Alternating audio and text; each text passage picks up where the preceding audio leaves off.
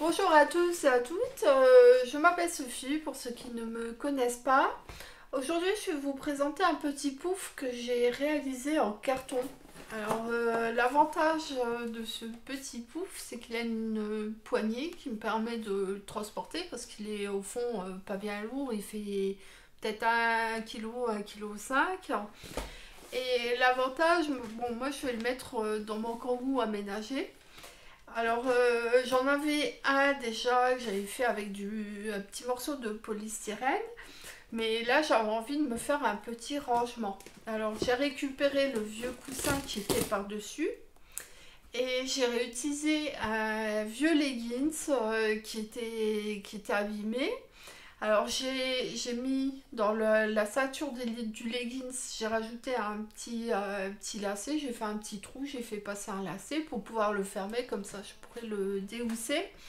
Et les jambes, bah, j'ai fait un nœud dedans et je me suis arrangé pour que ça tienne, comme ça je pourrais toujours le laver si j'en ai besoin. Ensuite, euh, bah, j'ai fait des petits, euh, des petits rangements.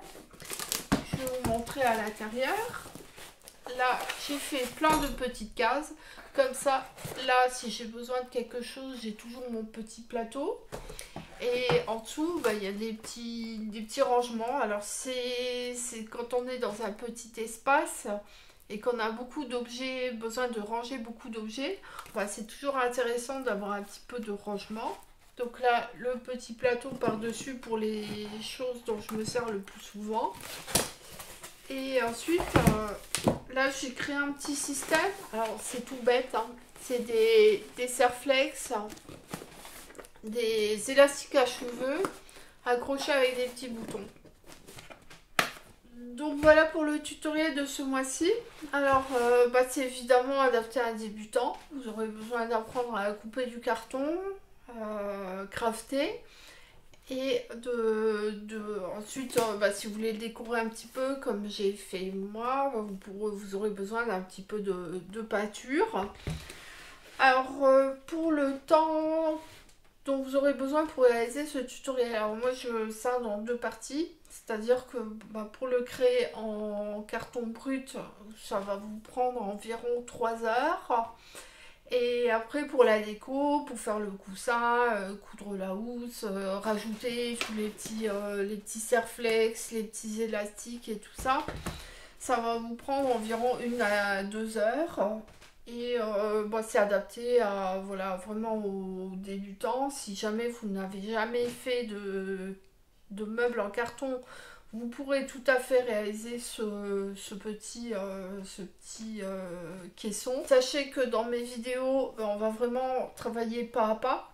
Et euh, bah, ça, en fait, vous aurez une particularité, c'est que bah, il va falloir tout couper au fur et à mesure. Parce que on a beau essayer, faire tout ce qu'on veut dans ce type de réalisation-là qui est fermé et où il y a beaucoup de compartiments eh bien vous aurez besoin de, bah, de à chaque fois de, reprendre les mesures parce que euh, on a beau faire ce qu'on veut, ça tombe jamais juste, donc c'est vraiment y aller au fur et à mesure, refaire des essais, comme là euh, bah, j'ai eu un moment où en fait euh, mon plateau il était trop épais et donc ça dépassait, donc j'ai dû, j'ai dû tout recouper.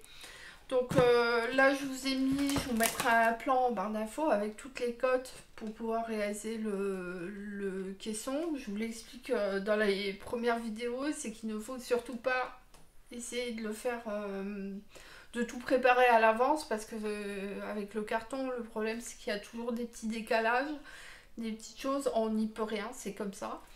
Euh, hum, dans certaines réalisations, on peut faire les choses à l'avance, mais ici, euh, le problème, c'est qu'il faudra faire au fur et à mesure. Donc, euh, bah, si vous avez envie d'apprendre avec moi, sachez que j'ai une chaîne YouTube qui est réservée aux abonnés payants et dans laquelle bah, je mets tous les mois un nouveau tutoriel. Donc, si vous avez envie d'apprendre et à travailler de manière efficace, euh, avec le moins de matériel possible parce que oui quand on se lance dans une nouvelle activité ben, il y a tout, un investissement à prévoir et eh bien Là, j'essaye de travailler avec les choses les plus basiques et les plus faciles à trouver en grande surface possible. Donc si vous avez envie d'apprendre et déjà pour démarrer à faire ce premier petit caisson, n'hésitez pas à venir sur ma chaîne, euh, payante. Euh, il suffit d'aller en dessous de cette vidéo et euh, cliquer sur le bouton rejoindre. Je vous remercie de m'avoir écouté, je vous souhaite une très bonne journée et peut-être à bientôt sur ma chaîne payante. Bye bye